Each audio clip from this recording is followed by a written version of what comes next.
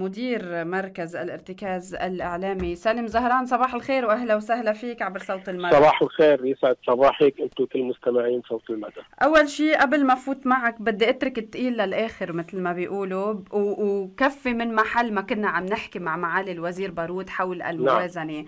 بالأمس كان في كلام لافت جدا ليس بجديد طبعا ولكن أيضا أعاد السيد نصر الله التأكيد على الانفتاح على أي نقاش بموضوع الموازنة وعلى عدم المس بالفئات الفقيرة وذوي الدخل المحدود وعدم فرض ضرائب اليوم هذه الورقة التي نشرت في صحيفة الأخبار سالم زهران حول هذه النقاط وزعت على الأفرقاء السياسيين أو القوى السياسية على ما أظن باجتماع يوم الأحد نعم. اليوم إلى أي مدى يعني يمكن أن يساهم حزب الله فعلا بالحد من فرض ضرائب على الفقراء ومحدودي الدخل. من بعد كلام سيد نصر الله بالأمس.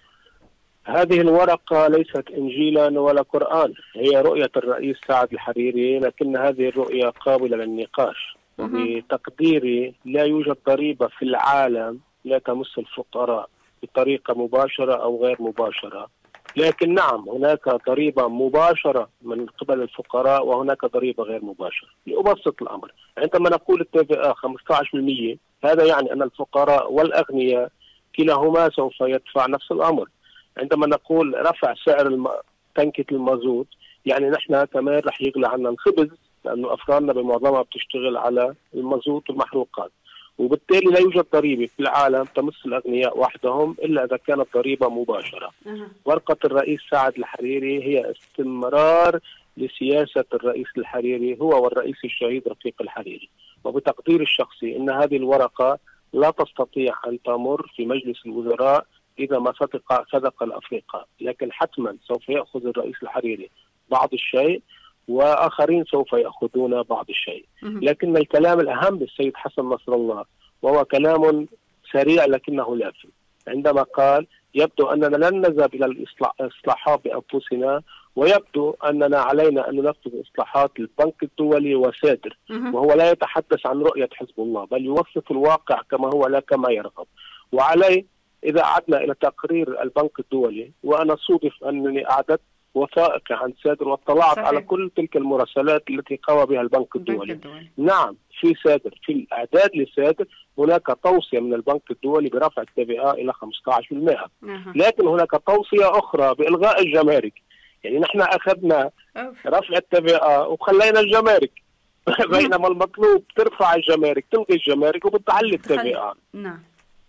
باختصار الموازنة سوف تكون حديث الساعات المقبلة. وكما بات معروف الوزير الياس أبو صعب بعد قليل يلتقي الرئيس سعد الحريري ومن ثم يعقد مؤتمرا صحفيا.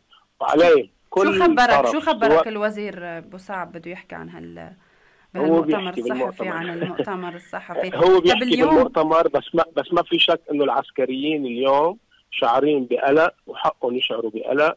شعرين بتململ وحقهم يشعروا بتململ وطبيعي كل مؤسسة اليوم بدها تشد الحاف مثل ما بنقول باللبناني لصوبة. نعم. لكن باختصار نعم الضرائب مقبلة كيف يكون شكلها؟ المنطق بيقول نبلش بالكبير نبلش بالمصارف اللي حققت أرباح مرعبة بالسنوات الأخيرة ومن بعدها بنوصل للمواطن. المنطق بيقول إنه بنلغي الجمارك وبنرفع التي مش بنرفع الجمارك وبنرفع التي مع بعض.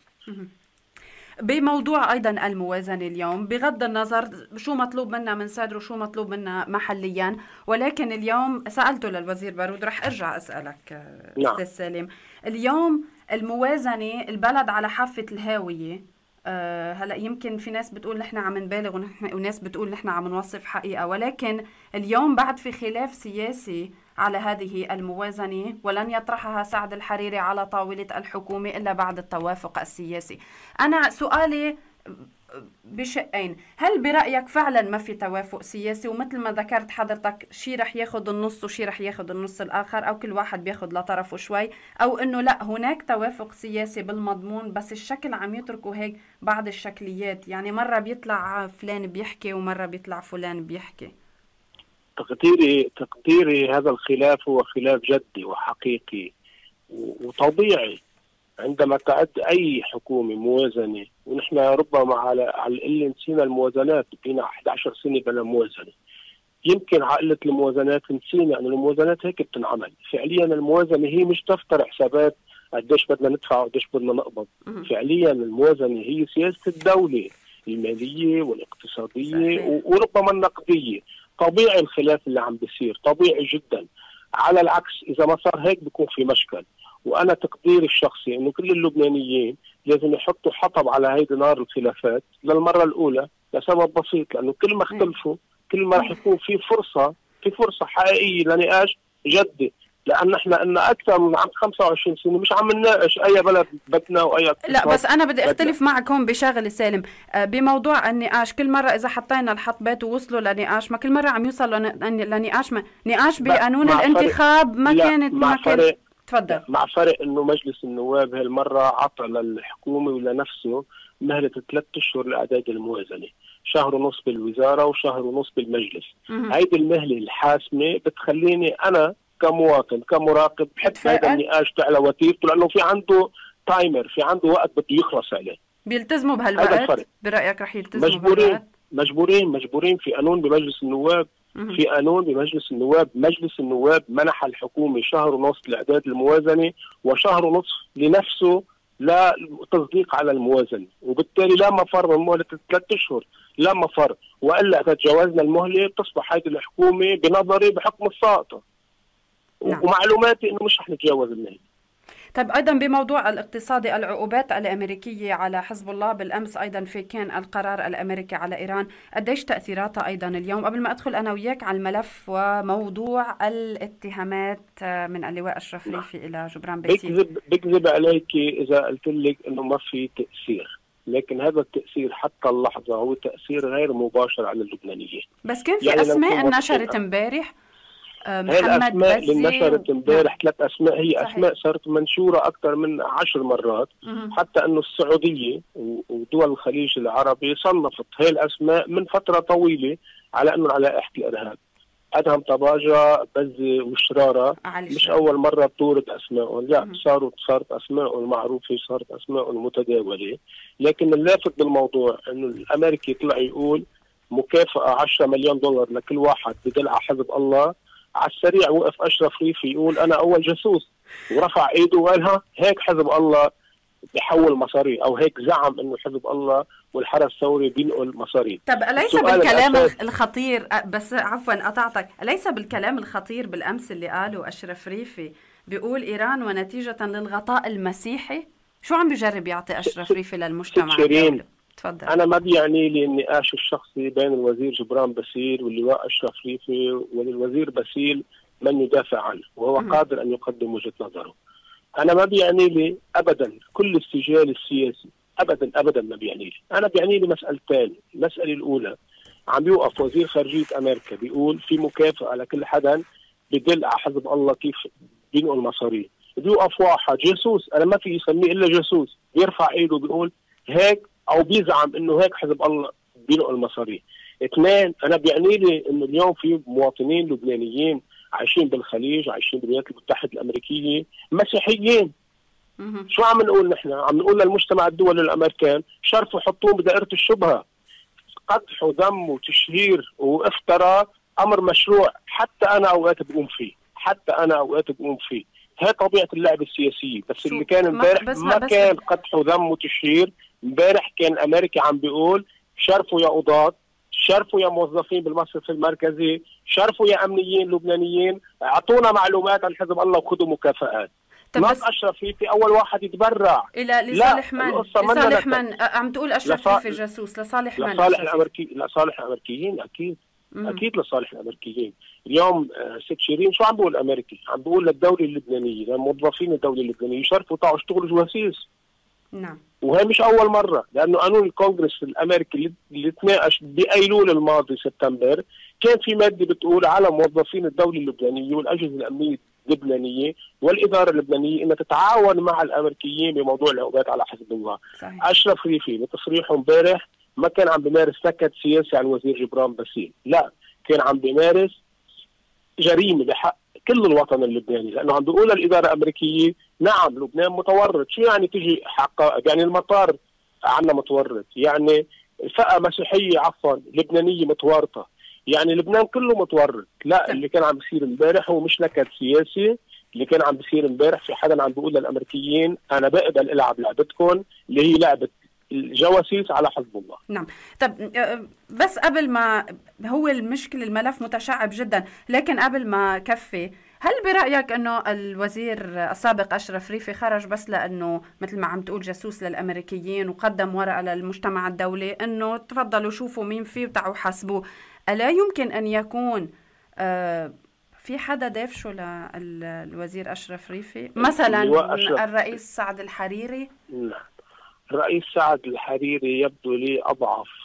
من أن يدفع بالوزير اشرف ريفي إلى هذا الاشتباك. الرئيس سعد الحريري يبدو لي أنه قد نظم علاقته مع حزب الله وليس سرا أن الحاج حسين الخليل يلتقي بالرئيس سعد الحريري بانتظام. الأحد الماضي حضر بالاجتماع صحيح. صحيح صحيح. الرئيس سعد الحريري علاقته بحزب الله وهو يرغب بهذه العلاقة. لكن السؤال المركزي اللي بدنا نجرب نجاوب عنه واللي أنا ما عندي جواب عنه. هل أشرف ريفي عم بيقدم هو وراء اعتماد يقول للأمريكيين وللسعوديين أنا حاضر إني ألعب أم لا؟ في جو أمريكي وفي جو خليجي عم بحضر الملعب اللبناني لاشتباك سياسي. أها. الاشتباك السياسي ممكن أن يتجدد بين ريفي والحريري؟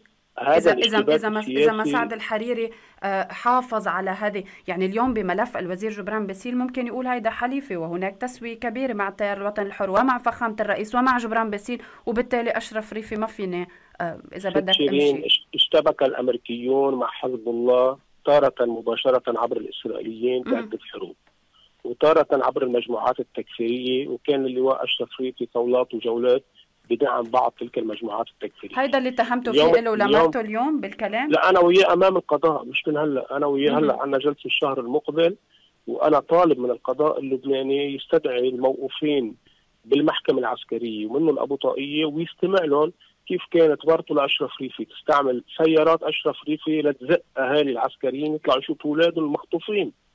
أنا وياه أمام القضاء الشهر آه. الجاي عندنا جلسة والشهر الماضي كان عندنا جلسة تأخرت. اليوم الأمريكيين عم بيشهروا سلاح العقوبات نعم. هل في أطراف لبنانية حاضرة تلعب لعبة الأمريكيين؟